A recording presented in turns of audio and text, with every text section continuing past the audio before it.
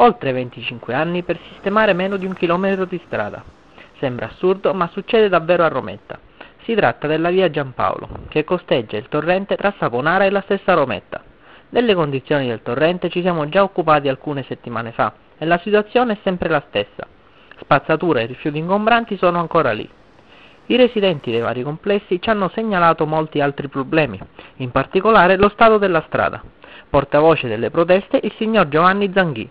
I problemi di Rometta sono vasti. Si parla della strada che da tre anni ho chiesto al vice sindaco Visalli che se poteva mandare qualcuno affinché coprisse questi buchi nella strada e tempo fa mi ha promesso che avrebbe fatto questo lavoro ma non è stato fino a questo momento effettuato. Poi c'è la spiaggia, la spiaggia non è stata livellata, non è stata pulita, non esistono servizi, per cui siamo in una situazione antigenica, specialmente il torrente attiguo fra Saponara e Rometta, che nessuno ha preso fino a questo momento, dal 1982, dei provvedimenti. Una situazione che anno dopo anno è diventata sempre più insopportabile per gli abitanti, che hanno spesso denunciato lo stato di degrado ricevendo solo molte promesse. Finora sono stati coperti alcuni buchi nel tratto sottostante lo svincolo dell'autostrada.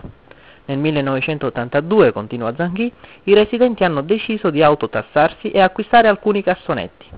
I rifiuti però spesso non vengono raccolti dagli addetti.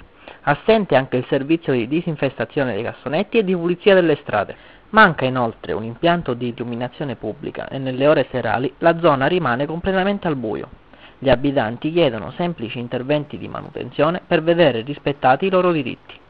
Noi non chiediamo tanto, chiediamo soltanto che la spiaggia venga livellata e pulita, che la strada sia almeno migliore, perché abbiamo dei buchi in queste strade che le macchine si stanno rovinando e non penso che sia una cosa corretta un cittadino che paga la Tarso, paga l'ICI, ha diritto a qualcosa. Se io pago ho diritto a un servizio, se io non pago non ho diritto al servizio.